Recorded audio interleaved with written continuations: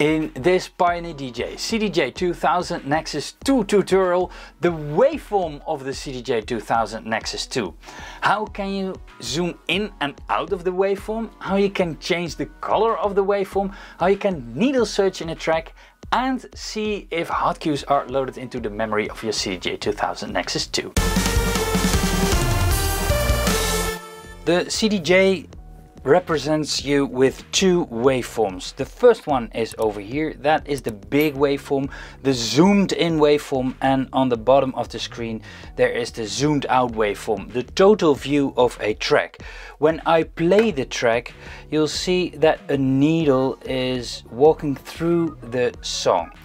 This is the part that is still coming up and here you see the detailed view. If you want to zoom in on this view, you can do that with the scroll button. Zoom out, left and zoom in, right. You can jump to certain sections in a song by clicking it with your finger on the screen itself in the lower waveform. For example, I want to go over here. I can see a preview of what is coming up in the track. Remember, the track is right here, the playhead is over here. And when I want to go to that section in the track, the track keeps playing, it's just a preview.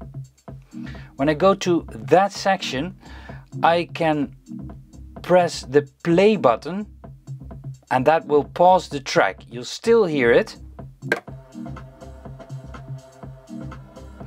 And it jumps right to the part of the track that I'm holding with my finger.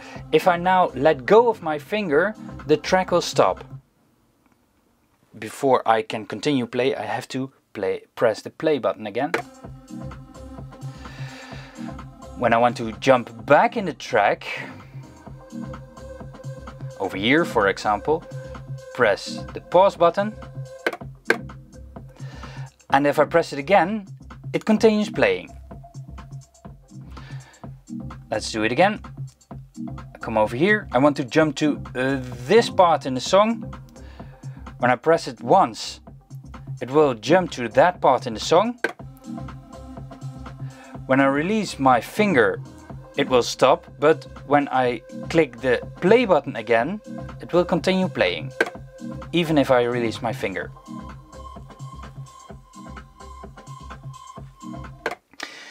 If you want to change the waveform color, you can do that in the shortcut menu. The shortcut is over here. When I click it, there is an option over here that says waveform blue or RGB. And you can change it to RGB. Personally, my personal preference, um, the bass is red and I can see it more easily on the RGB waveform than on the blue waveform. When I go back you'll see that the waveform over here is also changed. When you look at the screen you see that there are a couple of items over here. Those uh, E, F, B, A markings are the hot cues and if the hot cues are in the song they are displayed on top of the track over here when they are loaded into the memory, then they are on the bottom of the track. In this case, they are on top and on the bottom, so the hot cues are loaded in. If you don't want to auto load your hot cues, can, you can go to shortcut and switch the hot cue auto load to off. Now let's go back or press the shortcut again and now it won't load the next time I won't, uh, will load in a new song. Then these markings on the bottom will disappear. They are only then on the top of the track.